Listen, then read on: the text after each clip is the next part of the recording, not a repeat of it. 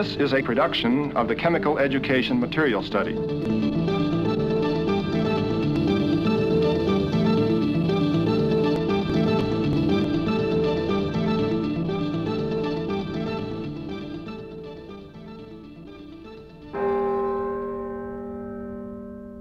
It may be hard to believe that the average speed of the molecules in air, which brings sound to our ears, is 1,000 miles per hour.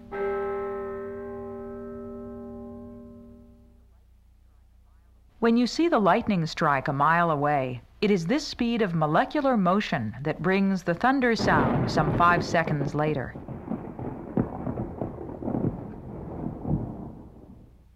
When most people look at substances, they normally notice only the bulk properties, such as shininess, shape, or hardness.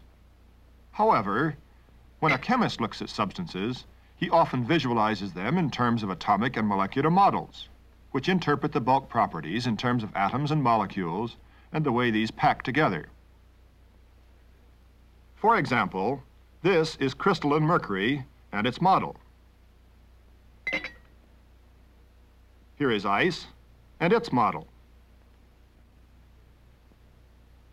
And here is a model of liquid water.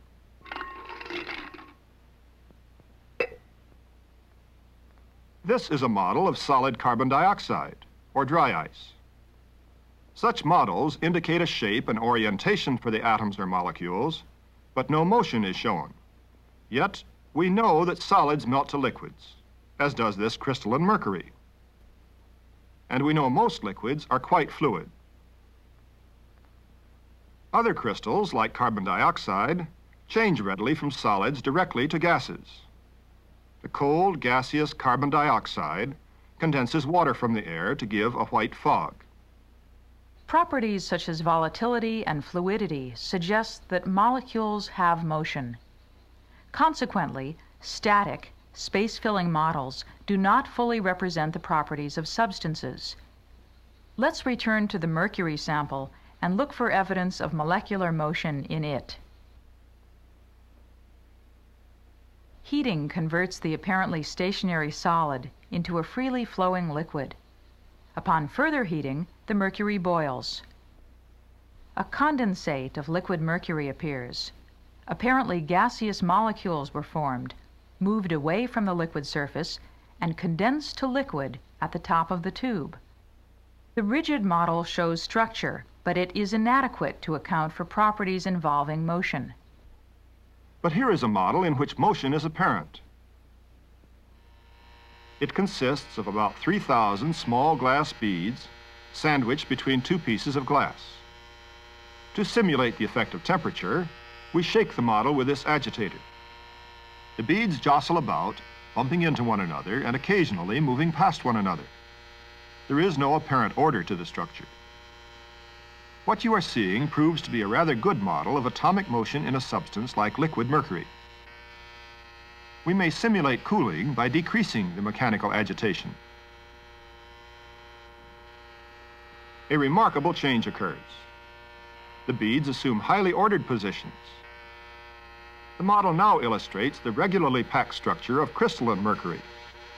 Close inspection reveals that the glass beads are still oscillating, just as do the atoms in real crystals. The motion decreases with decreasing temperature, but slight oscillation continues even at absolute zero. Let's increase the agitation, simulating a rise in temperature. Motion increases, Large blocks of atoms move with respect to one another. But atoms in a solid seldom exchange places or intermix. Further rise in temperature increases the motion, until finally, at a sharply defined level of energy or temperature, the solid structure disintegrates, just as did the solid mercury, into the random orientation and disordered motion characteristic of liquids. you can see the larger amount of open space and the smaller degree of structure which characterize liquids. Now let's consider the molecular motions in the transition from liquid to gas. The mercury tube has been modified slightly by introducing bits of blue glass which float on the mercury. As the temperature rises, the increased motions of the mercury atoms jiggle the pieces of glass. But look what's happening now.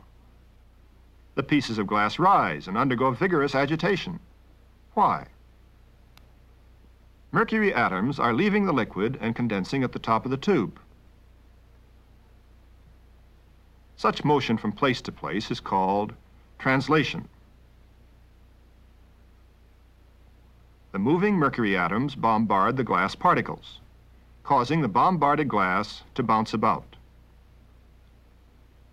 Let's look at translational motion at the molecular level. Here in very slow motion are models of several kinds of gaseous molecules undergoing translation, that is, motion from place to place. In addition, most of the polyatomic molecules have a further kind of motion, rotation. And close examination shows still another kind of motion, vibration. Rotation and translation involve only molecular tumbling and simple motions through space. But vibrational motions can appear complicated, as in this model. Here is a model of water undergoing one possible vibrational pattern. But every actual vibration can be considered as a combination of simpler vibrations in which the atomic motions repeat over and over again. In one motion, the bonds stretch in an unsymmetrical fashion. Here we have a symmetrical stretching vibration. A third vibration is mostly bond bending. The frequency of each vibration is determined by the strength of the bonds and the masses of the nuclei. In a water molecule containing hydrogens of mass 2, the vibrations slow down. The simple vibrational patterns combine to give the more complicated actual vibrations. The total molecular motion consists of various combinations of vibrations, rotations, and translations, which can be changed by a collision. Note the increased amplitude of vibration, indicating greater energy in the molecule. Or the amplitude of vibration could decrease when the molecule loses energy. The energy content can also increase by absorption of light or decrease by emission of light. Not only the total energy of a molecule, but also the distribution of its energy may be affected by a collision. Simple motions may result, or more complicated ones.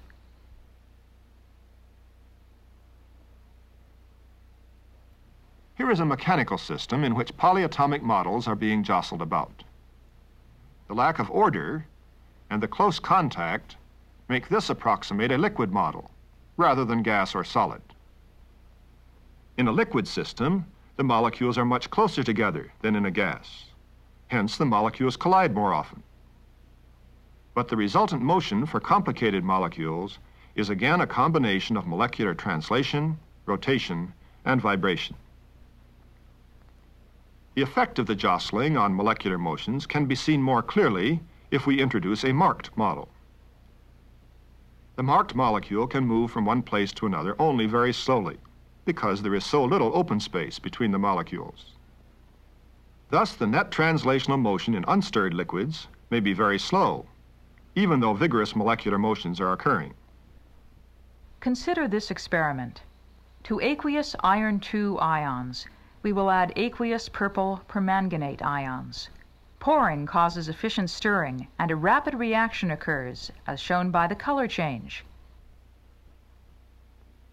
But what happens if we use a crystal of potassium permanganate? The crystal drops to the bottom of the iron 2 solution, almost unchanged. Once on the bottom, the permanganate begins to dissolve, but moves away from the solid very slowly.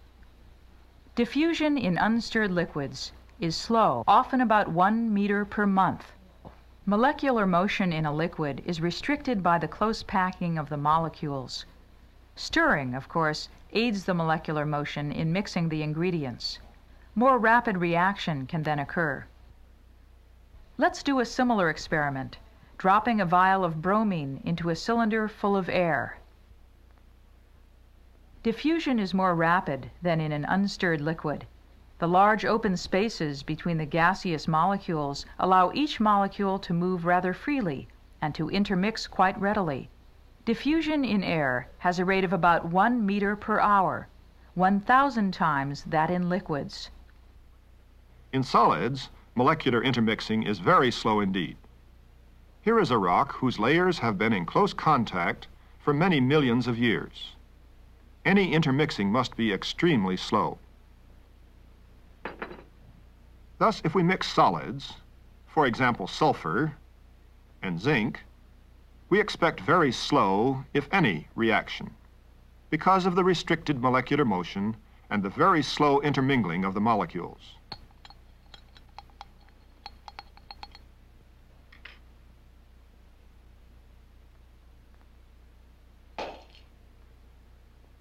But if we place the mixture in a porcelain dish and heat, molecular motion increases. But intermixing still does not occur until the sulfur melts. Vigorous reaction follows as a result of the increased molecular motion. Now consider reaction between two gases.